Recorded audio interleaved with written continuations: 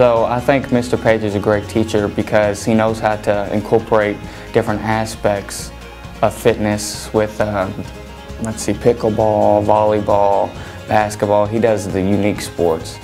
And he's told me his journey through getting this uh, program started in a way, or this new type of PE sports, this advanced sports skills. And it's kind of crazy how he had to go through all these classes, just become a bus driver and just do something that he thought was good and benefited the students.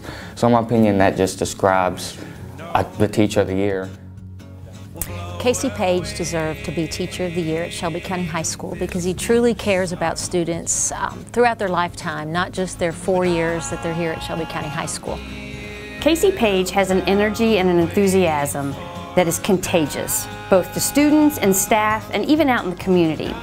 His lifetime sports class has enabled um, all kinds of students that may or may not participate in organized sports at our school to give them an opportunity to explore recreational activity and sports and um, things all through our community. He takes them out to Frankfort and Lexington and the park system in Shelby County and teaches them what it means and what it looks like to have an active lifestyle.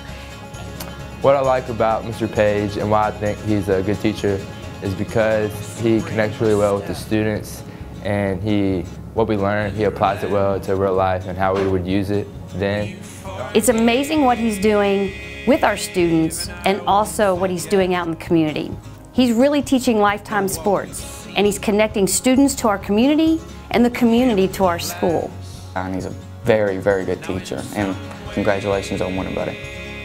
Congratulations, Casey, on being selected as the Shelby County High School Teacher of the Year. Congrats to Mr. Page on being Shelby County High School's Teacher of the Year.